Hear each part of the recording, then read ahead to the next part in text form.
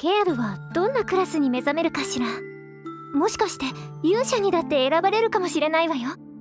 そしたらアンナさんにも恩返しができる。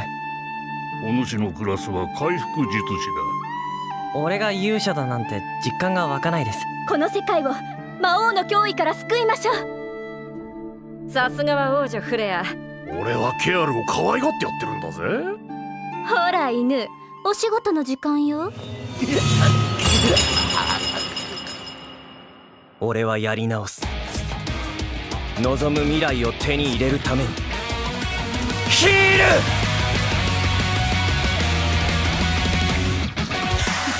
弱いケアルはもういない。俺は生まれ変わった。感じます。あなたがとても大切な人だということは刹那は強くなってみんなを守りたい。誇りある我がクライレットの剣を汚すなんて許せない私は小娘なんかじゃない立派な大人なんだから。あなたが正気だってことは黙っていてあげる。どうしてお前はそんなにも愚かなんだ。もう壊すしかないじゃないか。殺